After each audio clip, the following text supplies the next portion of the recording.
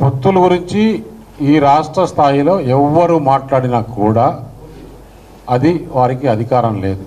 పొత్తుల గురించి ఓన్లీ కేంద్ర నాయకత్వం వారే మాట్లాడతారు.